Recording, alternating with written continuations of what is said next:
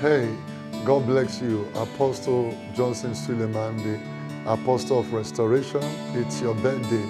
I'm here to wish you a happy birthday, and I bless God for your life and what God is doing in your life. You will go from glory to glory.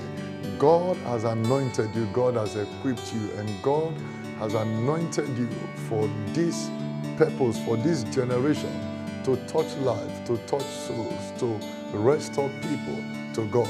And God has been using you to do this. You have not failed, and you will never fail. No matter the onslaught of the enemy in your life, you have always prevailed because the, the, the mark that God is with a man is not how many battles that comes on the man's way, but is how many victory he gets. And in every battle the enemy sends your way, God has given you victory.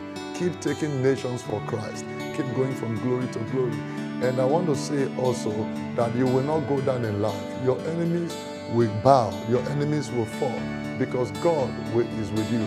The Bible says when the way of a man pleases God, even his enemies will be at peace with him. Your enemies will have no choice than to be at peace with you because the hand of God is upon you. God keep you. God bless you.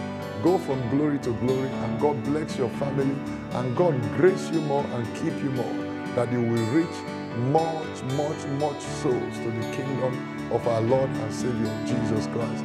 Apostle Johnson Suleman, the restoration apostle, I love you, I love you, and I love you.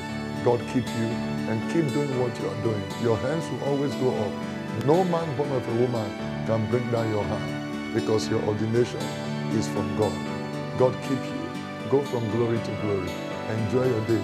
Have a beautiful and a blessed day ahead of you and your family. I wish you all the best.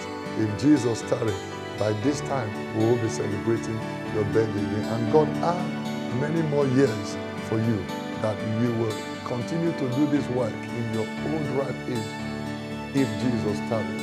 I wish you all the best. I love you. Celebrate. Go from glory to glory. Live long and prosper. Succeed and make progress.